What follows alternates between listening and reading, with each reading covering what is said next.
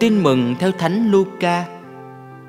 Và cũng như thời ông Noe, sự việc đã xảy ra cách nào thì trong những ngày của con người, sự việc sẽ xảy ra cách như vậy.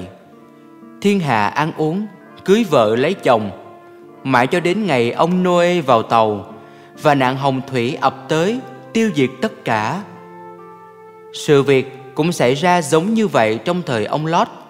Thiên hạ ăn uống, mua bán, trồng trọt, xây cất. Nhưng ngày ông Lót ra khỏi Sơ Đom thì Thiên Chúa khiến mưa lửa và diêm sinh từ trời đổ xuống tiêu diệt tất cả. Sự việc cũng sẽ xảy ra như thế ngày con người được mặc khải. Ngày ấy, ai ở trên sân thượng mà đồ đạc ở dưới nhà thì đừng xuống lấy. Cũng vậy, ai ở ngoài đồng thì đừng quay trở lại. Hãy nhớ chuyện vợ ông Lót. Ai tìm cách giữ mạng sống mình thì sẽ mất. Còn ai liều mất mạng sống mình thì sẽ bảo tồn được mạng sống. Thầy nói cho anh em biết, đêm ấy hai người đang nằm chung một giường thì một người sẽ được đem đi, còn người kia bị bỏ lại.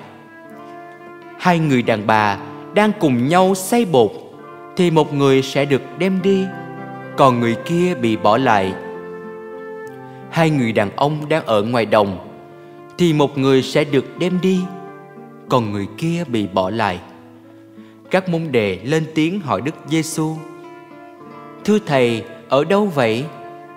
Người nói với các ông: xác nằm đâu, diều hâu tụ đó.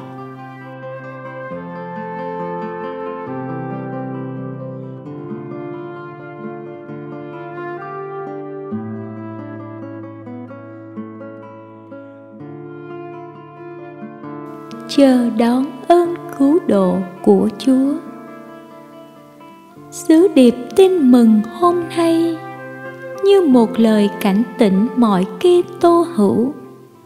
Hãy tỉnh thức và sẵn sàng trước ngày của con người. Giờ của Chúa. Sự tỉnh thức và sẵn sàng ấy giải thoát con người khỏi lối sống đức tin trong thụ động. Sợ hãi, hay canh me thiên chúa? Thái độ thụ động nhường chỗ cho sự năng động dấn thân.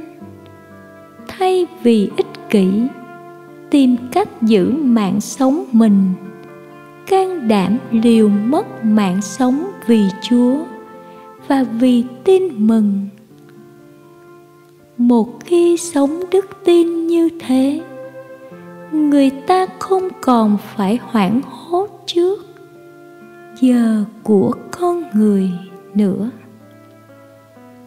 Nhưng đứng thẳng và ngẩng đầu cao, chờ đón ơn cứu độ của chúa.